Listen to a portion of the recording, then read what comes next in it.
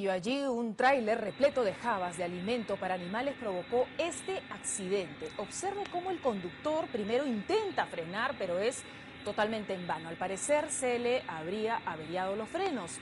Debido a la velocidad en que iba, los productos del vehículo pues caen y quedan totalmente esparcidos por toda la pista. Los otros conductores tuvieron que cruzar al otro carril para evitar ser impactados. Los heridos fueron trasladados por personal de Serenazgo al hospital de la zona, mientras el chofer del tráiler huyó del lugar. Sin embargo, minutos después la policía pudo encontrarlo en un grifo cercano. El hombre fue llevado a la comisaría donde se realizan en estos momentos las diligencias del caso. Durante un operativo